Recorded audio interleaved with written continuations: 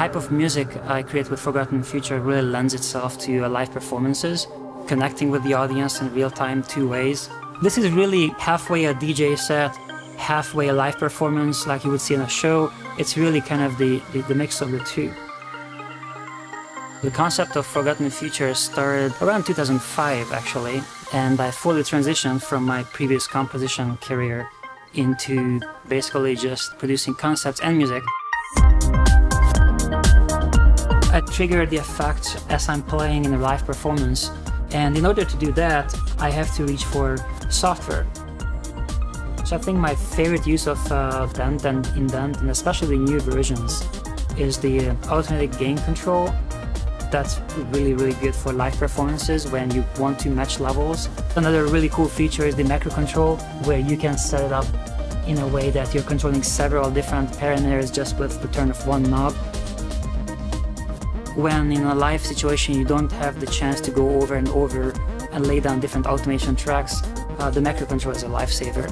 You can really just tweak one knob and a whole lot of things can start happening. as I'm tweaking the analog filter uh, on the machine, hitting dent uh, really achieves a, a, very rich effect with, uh, with a little saturation on it. I actually set up patch and Indent 2, which is a simplified version um, of dent, but it's really, really good. You can get really good quality and really interesting sounds out of it.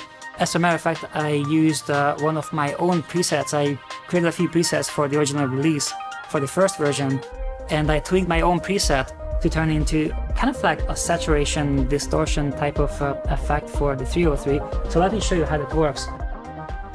Just running the 303, just like a simple patch here.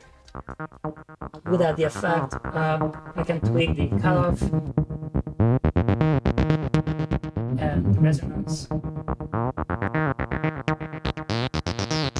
With the cutoff. And that's basically the type of characters you can get out of uh, the 303 in a saw wave mode. Uh, if I want to distort it, however, then I set up a macro control here.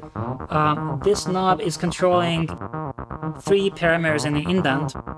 So if I turn on this effect, then you can actually see how uh, the color of the resonance and the saturation in the input is going to be changing.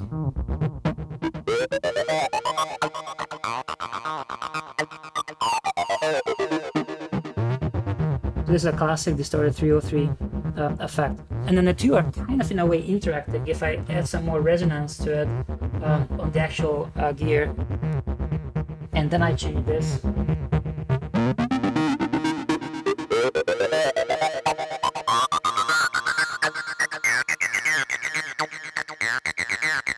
You can even create like nice interesting accents that the, the saturation reacts to in a different way.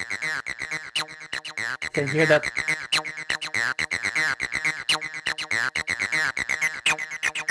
My main use for dent and indent are really saturation. Um, uh, I like to use it for pads, uh, some really nice saturated pads, whether it's uh, just a little bit of a texture that it, it gives or like, like really crazy and aggressive saturation, very good for that. Also for arpeggios like the, the, uh, the 303, it's a great distortion effect. Actually, I've used it for percussion as well. Um, you're gonna hear that in the album.